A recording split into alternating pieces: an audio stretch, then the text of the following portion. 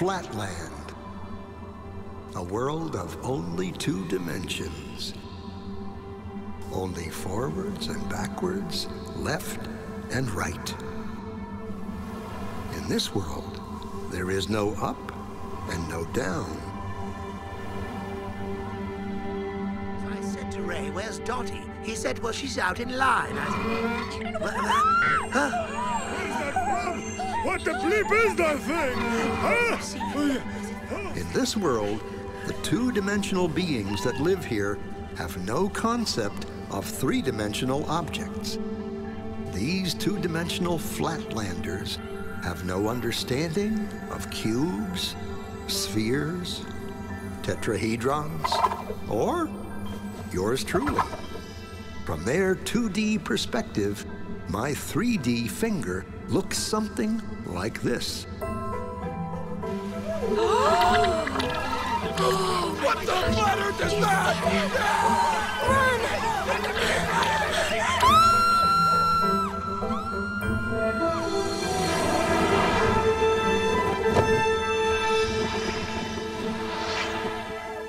Hello, little circle.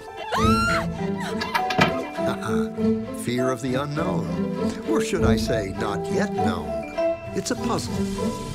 If we see only what we know, how does anyone ever see anything new? The unknown. How do we ever get out of our box? Hello, little circle. Don't be afraid. Who said that? Where are you? This is always the tricky part to explain.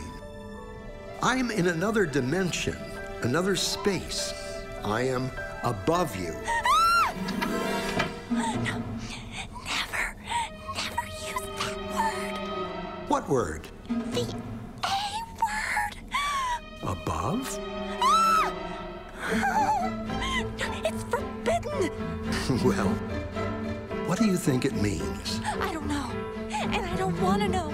You can be severely punished if you use that word. Are you a ghost? I hope not.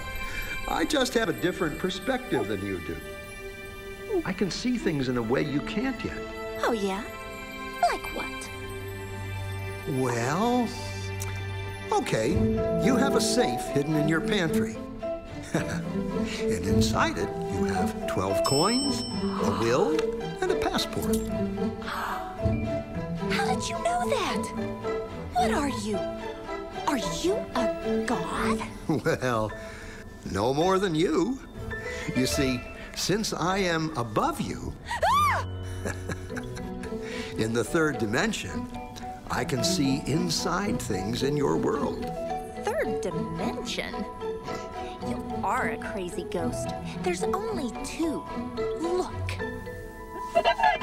So, if I were to touch the inside of your stomach, how would I do that? Well, you'd have to cut through my skin.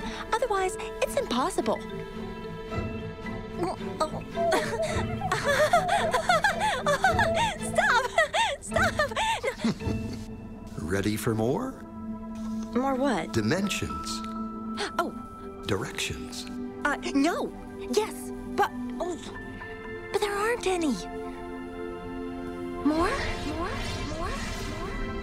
What will happen to me? What will I become? You'd have to become it to know.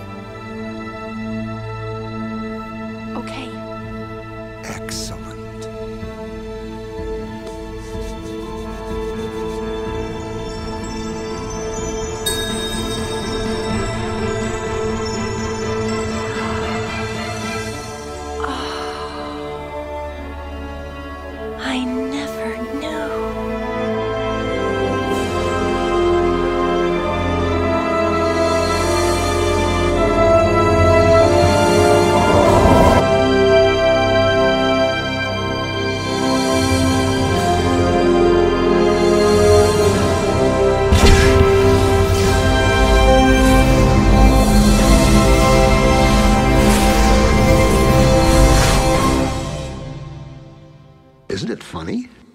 That which we are most afraid of is what thrills us the most.